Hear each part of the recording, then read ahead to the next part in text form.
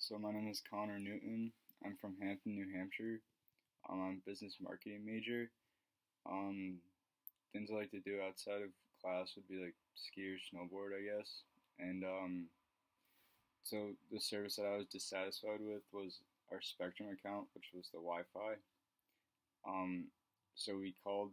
We were having trouble with our Wi-Fi, so we called up Spectrum, and they said it was fine. And then couple days passed, and we are still having problems with our Wi-Fi. So they sent over a technician, and the technician set us up, made sure we were all set to go, and now I'm able to do classes with the new Wi-Fi. So it's great.